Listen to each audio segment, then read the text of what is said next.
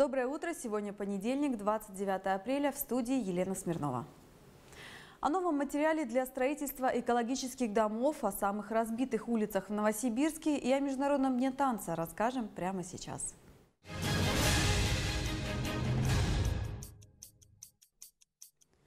Ветераны и труженики тыла перед Днем Победы получат путевки в дома отдыха, денежные выплаты и сертификаты на покупку лекарств в муниципальных аптеках. По данным социальных служб, в Новосибирске на учете состоят 1112 ветеранов. Самому молодому из них в этом году исполняется 90 лет, а 14 человек отметят вековой юбилей. Кроме материальной помощи им оказывают и социальную. Убирают квартиры, готовят еду, покупают продукты. При этом соцработники имеют необходимую психологическую подготовку. В первую очередь пожилые люди нуждаются в общении. Ученые Института катализа провели испытания новых соединений для строительства экологических домов. Они способны накапливать солнечное тепло летом, чтобы использовать его зимой. Главный компонент – селективные сорбенты воды. За счет теплоты, запасенной в кубометре такого сорбента, можно нагреть до кипения 3000 литров воды. Процесс простой. Летом емкость осушают, а зимой увлажняют. Начинается химический процесс с выделением тепла. Испытания в домах проведут на севере Европы. Для этих целей специально построят несколько зданий. В Юрге прошли первые в этом году учения инженерных род по ликвидации последствий ЧС. Военнослужащие отработали задачу преодоления водной преграды сразу несколькими способами. Подробности в сюжете Дмитрия Антипова. Сначала форсирование реки Томь. Течение полтора метра в секунду – это осложняет работу солдатам-инженерам. Однако в нормативы уложились. Первая задача – собрать паром из понтонных секций. Сейчас я стою на понтонной переправе. Она состоит из нескольких секций, и боевое положение приводится за 15-20 минут. При необходимости и наличии достаточного количества секций из них можно сделать даже мост. Однако сегодня понтоны использовали в качестве парома. Каждая из секций может нести на себе 20 тонн груза. Всего трех таких достаточно, чтобы переправить целый танк. Однако в этот раз танкистов решили не беспокоить и загнали на паром грузовик «Урал». В реальных условиях такую технику применяют при ликвидации стихийных бедствий и переброске войск через водные преграды. Принимали мы участие э, не только в нашей Кемеровской области, но и в Алтайском крае по ликвидации чрезвычайных последствий. Это было потопление у нас э, населенных пунктов, где населенные пункты были обрезаны от внешнего мира, так скажем. И мы им помогали, восстанавливали мосты и организовывали переправы. Сергей Шабалов сейчас на срочной службе. В инженерные войска попал благодаря высшему электротехническому образованию. Однако в университете многому не учили. На практике все сложнее. Мы, э, нам спустили три понтона, задействованы три краза. Э, дальше собирали их в звенья, э, выполняли небольшие маневры, по реке. Ну, сегодня течение большое, но мы справились со своей задачей. В ближайшие дни в Новосибирской области ждут большую воду с Алтайских гор. Военные готовы оказать любую помощь гражданским. Дмитрий Антипов, Александр Егоров. Новости ОТС. Инспекторы ГИБДД назвали самые разбитые дороги Новосибирска. Это улицы Сибиряков-Гвардейцев, Большевистская, Подромская, Советская, Фрунзе, Гоголя, Кашурникова, Жуковского, Бориса Боготкова, Большая и Гусинобродское шоссе. К недостаткам дороги ГИБДД относит ямы, нарушения с дорожными знаками, неработающими светофорами и плохую разметку. Добавлю, в этом году в Департамент транспорта и дорожно-благоустроительного комплекса мэрии Новосибирска направили уже 654 предписания. Это на 40 больше, чем прошлой весной. Сегодня Международный день танца. Этот праздник вошел в календарь ЮНЕСКО в 1982 году. 29 апреля – день рождения Жан-Жоржа Навера, реформатора и теоретика хореографического искусства, который вошел в историю как отец современного балета. Главная идея праздника – объединение всех направлений танца как единой формы искусства, а сам день танца – это возможность сплотить людей во имя дружбы и мира, позволяя им говорить на одном языке. Формы же празднования весьма разнообразны, от традиционных концертов и выступлений выступлений до танцевальных флешмобов и необычных представлений. И на этом пока все. Подписывайтесь на наш инстаграм ОТС, нижнее подчеркивание ТВ. Я же с вами прощаюсь и желаю удачного дня. Смотрите эфир и архив записи телеканала ОТС в сервисе Пирс ТВ.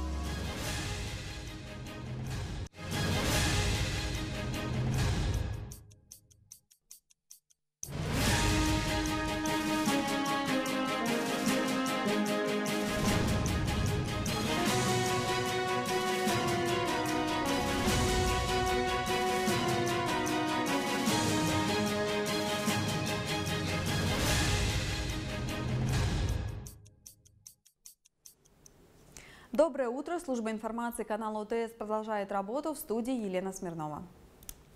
О новых разрешенных профессиях для женщин, новом виде насекомого, найденного в Сибири, и о школьном предмете, который прогуливал каждый третий ребенок, расскажем прямо сейчас.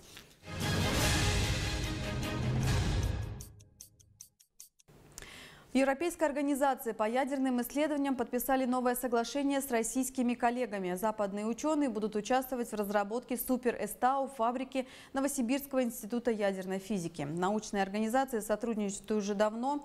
Наши физики создавали ускоритель для большого андронного коллайдера. Комплекс, который появится в Новосибирске, будет работать на встречных электронно-позитронных пучках. Это позволит как совершать новые открытия фундаментальной науки, так и использовать частицы в прикладных целях. В рамках нового нового соглашения европейцы будут помогать сибирякам в создании коллайдера, а потом использовать полученные результаты в совместных проектах. Российским женщинам разрешат работать по профессиям, которые на протяжении многих лет считались вредными и опасными. Приказ Минтруда вступил в силу с 1 января 2020 года. Представительниц прекрасного пола допустят к управлению не только поездами, но и самолетами, морскими и речными судами. Уйдут в прошлое запреты в химической промышленности, там, где благодаря современным технологиям уже нет непосредственного контакта с опасными веществами. Останутся закрытыми для женщин 79 профессий. Например, сохранится запрет на труд на производство, где нужно поднимать и перемещать тяжести вручную, и где превышаются нормы предельно допустимых нагрузок для женщин, на подземных работах в горнодобывающей промышленности, на строительстве подземных сооружений и подземной добыче нефти. Накануне работники скорой, врачи, санитары, фельдшеры отметили профессиональный праздник, который пока еще не носит статус официального. Из Узунского района мои коллеги. Ну, вот я хочу объявить Ой, Ольге Александровне Засмолиной большое-большое, большую благодарность за спасение моего дедушки. На тетрадном листе Тамара Михайловна пишет слова благодарности. Рассказывает, фельдшер скорой помощи стала для их семьи ангелом-хранителем. И эта девочка приехала и больше часу с ним отхаживалась. Первый раз такое было. Она его не бросила, она не отошла ни на минуточку. Она его увезла, госпитализировала, положила. Ольге Засмолиной 32 года, 12 из них она работает фельдшером. Говорит, всегда тянула к медицине, так что выбор осознанный. Другое дело, что встречаются не только благодарные пациенты. Не все люди адекватно реагируют на оказание помощи. И такое бывает? И такое бывает. Бывает и кидаются, и драться пытаются, и все что угодно. И как с ним вообще язык находить? Ну как, милицию вызываем на помощь. За эти годы даже роды пришлось в машине принимать. По-прежнему на каждом выезде она переживает, удастся ли помочь. Но если бы повернуть время вспять, профессию выбрала бы ту же. Пошла, оно того стоит. Видишь, что ты спас человека, уже становится тебе легче на душе. Вызов партизанская 132, высокое давление, аритмия. Понятно. Можно ехать. Иван Кудинов, Евгения Емельянова, Илья Чалых. Новости ОТС. Ученые открыли в Сибири новый вид насекомого. Моль-пестрянку до сих пор не замечали в наших широтах. Гусеницы этого вида оставляют после себя своеобразные повреждения на листьях, так называемые мины. Выедают листья изнутри, не повреждая кожицу. Вид развивается на карагане древовидной, кустарниковом растении, используемом для создания живых изгородей и бордюров в сибирских городах. На момент обнаружения численность насекомого невысока. Популяция не наносит заметных повреждений своему кормовому растению. Каждый третий новосибирец прогуливал в школьные годы уроки музыки, 7% вообще игнорировали этот предмет. Такие данные опубликовала по итогам опроса крупнейшее интернет-радио страны. Чаще всего на уроках музыки пользователи пели хором, слушали классические произведения, иногда в исполнении учителя и изучали теорию музыки. Только 13% опрошенных сообщили, что на уроках им, их знакомили с творчеством современных музыкантов и композиторов. И лишь 6% отметили, что во время занятий учитель предлагал им потанцевать. По мнению опрошенных, школьную программу можно дополнить произведениями Виктора Цоя, Владимира Высоцкого, Бориса Гребенщикова, Егора Летова. Среди зарубежных исполнителей назвали Queen, Beatles, Нирвану и Металлику. И это пока все новости к этому часу. Подписывайтесь на наш инстаграм ОТС, нижнее подчеркивание ТВ.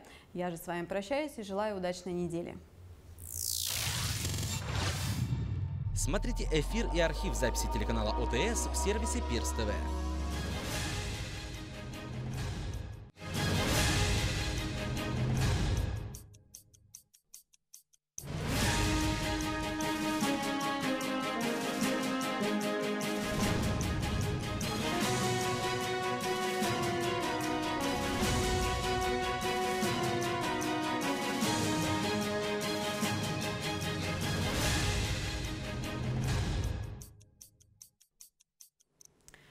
Эфир канала УТС продолжает выпуск новостей. Здравствуйте. О церковных колоколах, которые могут позвонить верующие, встречах школьников с ветеранами и о фестивале «Золотая маска», который пройдет в Новосибирске, расскажем прямо сейчас.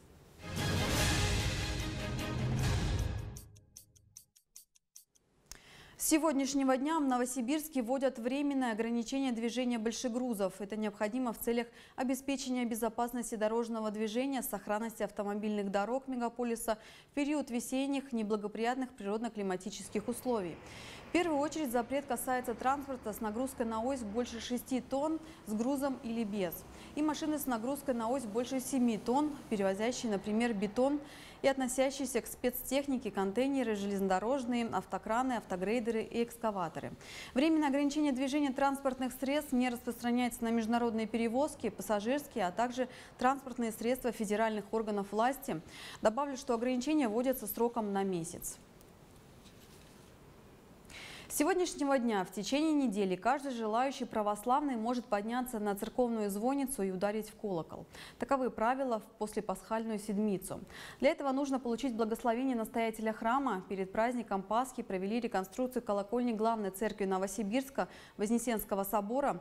Колокола отливали из специального сплава олова и меди, чтобы они сохраняли прочность и добились нужного звучания.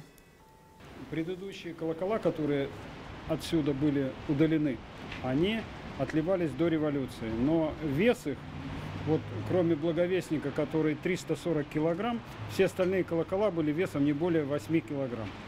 Ну, там один, по-моему, был килограмм 25 и все. Это настолько несоразмерные веса, что нормально звонить на этой колокольне было невозможно. Не только поправить здоровье, но и дать возможность пообщаться. В облбольницу традиционно в преддверии 9 мая госпитализируют ветеранов Великой Отечественной войны. В их лечебном плане встречи со студентами и школьниками. Юных гостей Владимир Иванович встречает при полном параде и даже рассказ о своей жизни начинает стоя. 93 года военной выправки не помеха. Я сам сибиряк. Я в Сибири родился. Морковский район, село Картусак. В 1941 году закончил 7 классов.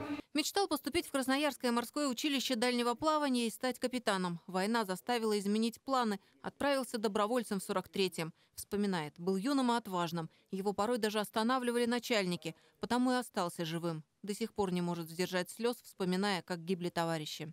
На войне страшно не бывает. Родина вперед. День Победы встречал на передовой. В мае 45-го был в Берлине, потом в Праге. А проснулись на рассвете, в окнах свет и нет войны. Можно больше не прощаться и на фронт не провожать. С фронта будут возвращаться, мы героев будем ждать.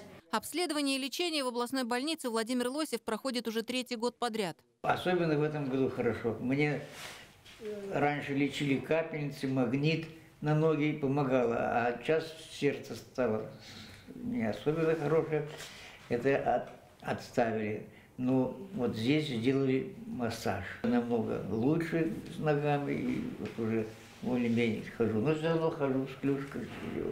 Эмоций учеников 3 Б сегодня много. Мне понравилось, как он был пулеметчиком. Я запомнил еще про ну, этого предателя. Про генерала Власова.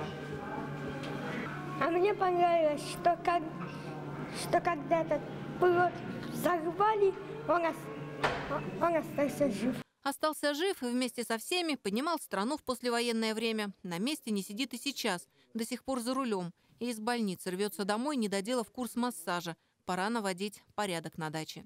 Наталья Цопина, Антон Мамаев. Новости ОТС.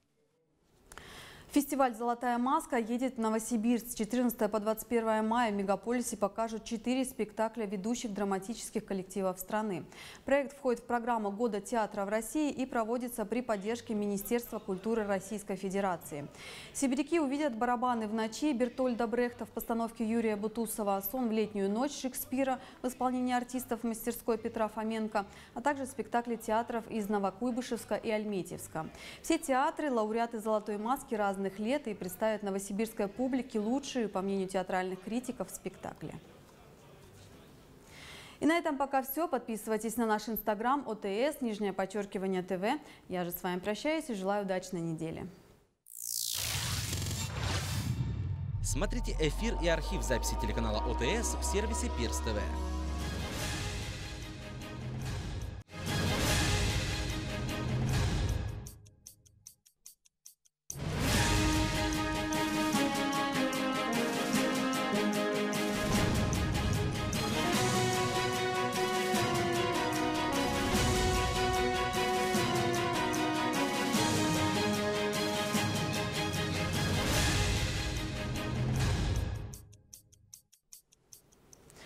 Служба информации канала ОТС продолжает работу в студии Елена Смирнова.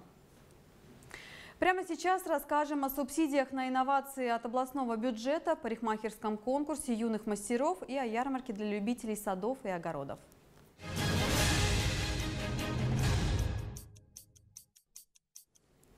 Инновационные компании региона получат субсидии из областного бюджета. Министерство науки объявило конкурс среди разработчиков новых технологий. В зависимости от номинации они могут получить от 3 до 5 миллионов рублей на реализацию проектов. Один из критериев отбора – наличие собственных средств не менее половины от необходимой суммы. Подробности участия в конкурсе на сайте Министерства науки и инновационной политики региона. Новосибирские разработчики электронно-географических карт нашли самый короткий путь из королевства гавани Винтерфелл. Поклонники «Игры престолов» смогут проследить путь Арии Старк, оценить сложности дороги на Красную свадьбу или навигацию на Железные острова. На карте есть все основные места, замки, дороги, королевства, моря, все, что есть в мире песни льда и пламени. В детском доме творчества «Центральный» соревновались парикмахеры и стилисты. В областном конкурсе «Планета красоты» участвовали юные мастера до 18 лет. Мои коллеги подробнее. Старт по команде. На создание авторского неповторимого образа модели «Час». Лизе Гладышевой 11 лет. В кружке парикмахерского искусства занимается год. Сегодня решила заплести необычную косу. Я участвую в номинации а, «Русская коса». Ну, и заплетать я буду прическу там с четырехпрядной косой и просто косичками. Всего 33 участницы от 10 до 18 лет. Кто-то решил просто попробовать себя в профессии парикмахера, а кто-то, как и Нина Хасанова, хочет связать свою жизнь с этим искусством. Сегодня выпускница 9 класса представляет прическу в стиле барокко. Сейчас идет год театра, и не знаю, именно в этот год решила показать именно 19 век. Да и к тому же я занимаюсь историей, то есть мне, мне очень нравится история. Мне нравились раньше, как одевали женщины, их наряды и прически. Оценивают работы участниц профессиональные парикмахеры. Требования серьезные. Аккуратность, сложность, оригинальность, выдержка образа и балла. Конечно, образ учитывается, платье, макияж, если он есть. Потому что на подиуме обычно смотрят полный образ. Ну, так как это дети и модели, может быть, были не предупреждены, это особо не будет учитываться. Но если есть образ, это будет явным плюсом. Конкурс открытый. Участницы из кружков, парикмахерских студий и самоучки. Организаторы уверены, младшим конкурс поможет определиться с выбором профессии, старшим поможет поступить в училище. Победа даст уверенность в себе, подготовку. И у нас проходит еще работа с профессиональными колледжами о возможности принимать или участие в мастер-классе, который там проводят. В каждой номинации три призовых места. Победителей наградили медалями и кубками, а всех участниц – почетными дипломами. Екатерина Широкова, Борис Гладких. Новости ОТС. Сегодня на площади перед Дворцом культуры имени Чкалова в Новосибирске откроют ярмарку для садоводов и огородников. Там покупатели предложат как новинки от частных производителей, так и товары крупных компаний. Всего больше 150 участников. На ярмарке традиционно широкий выбор семян, саженцев плодовых и овощных культур, цветов, средств защиты растений, удобрений, теплиц, укрывного материала и дачного инвентаря. Кроме этого, посетители смогут получить бесплатные консультации по вопросам выращивания садовых и огородных культур. На этом пока все. Подписывайтесь на наш инстаграм ОТС, нижнее подчеркивание ТВ. Я же с вами прощаюсь и желаю удачной недели. Смотрите эфир и архив записи телеканала ОТС в сервисе Перс ТВ.